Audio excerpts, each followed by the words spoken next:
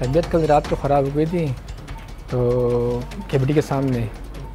मैं घर चला गया था उसके बाद रात को जब दोबारा फिर झटका आया कि मेरे सांस की मार लग गई मेरे को ना तो तबीयत और ख़राब हो गई थी। तो मैं तो दवाई लेके सो गया था।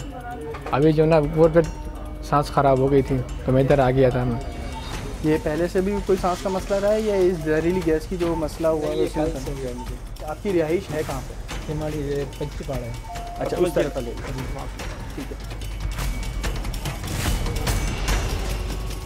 सांस की तकलीफ़ में ज़्यादातर लोग आए हैं वो उनका चेस्ट के अंदर हम हमारी लैंग्वेज में वीस कहते हैं तो उसके साथ आए।